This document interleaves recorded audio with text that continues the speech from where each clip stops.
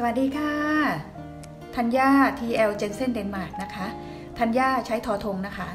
วันนี้พี่ย่าจะพาไปทำกิจกรรมอะไร เดี๋ยวตามกันมาเลยนะคะ ไปค่ะ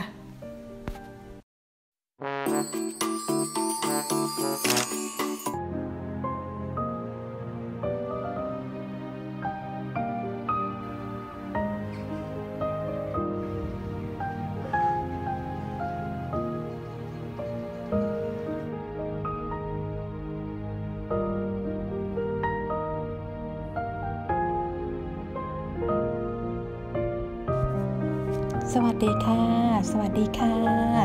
วันนี้พี่ย่าพานั่งรถเที่ยวนะคะ พร้อมกับเม้าท์มอยหอยสังข์ เรื่องวิถีชีวิตแบบชาวเดนมาร์กให้ฟังนะคะ ปกติแล้วชีวิตของชาวเดนมาร์กอะเเป็นประเทศที่เเขาวัดกันว่าเดนมาร์กเป็นประเทศที่มีความสุขที่สุดในโลก พี่ก็ไม่รู้ว่าเขาวัดมาจากไหนนะคะ อาจจะเป็นการวัดปริมาณความสุขของประชากรในประเทศต่างๆ ที่มองจากหลายปัจจัยนะคะ เช่น ความแข็งแกร่งของเศรษฐกิจ สวัสดิการสังคม อายุไขของคนทั้งประเทศ อิสระในการใช้ชีวิต ความเอื้อเฟื้อเผื่อความเอื้อเฟื้อเผื่อแผ่ ความเสมอภาคเท่าเทียม หรือแม้กระทั่ง การมีอัตราคอร์รัปชันที่ต่ำประมาณนี้ละมั้งคะเออนั่นแหละ เดนมาร์กบอกอะไรถึงวัฒนธรรม เดนมาร์กบอกถึงความเป็น ประชาชนที่ใช้ชีวิตแบบไม่เร่งรีบ บอกถึงความเป็นอิสระ บอกถึงความให้เกียรติซึ่งกันและกันความเท่าเทียมกันในสังคมค่ะ ประชากรและวัฒนธรรมของประเทศเดนมาร์กนะคะ ประชากรก็อย่างที่พี่ย่าบอกก็คือมีประมาณ 5.7 ล้านคนค่ะ ส่วนใหญ่มีเชื้อสายเดนมาร์ก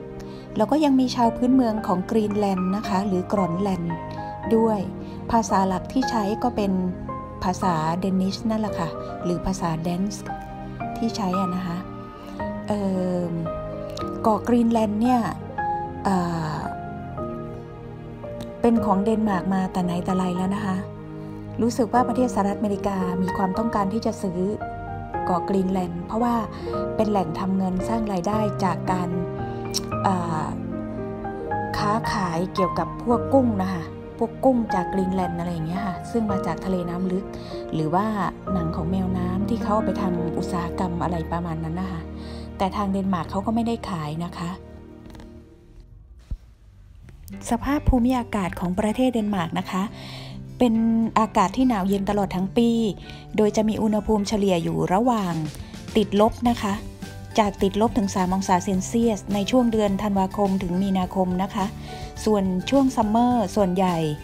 ช่วงเดือนมิถุนาจนถึงต้นเดือนกันยา อากาศจะเย็นสบายค่ะ ถือว่าเป็นช่วงเวลาที่เหมาะสมในการเดินทางมาเที่ยวที่ประเทศเดนมาร์กนะคะ ทุกคนส่วนเวลาของประเทศเดนมาร์กนั้นนะคะจะช้ากว่าของประเทศไทยประมาณ 5 ชั่วโมง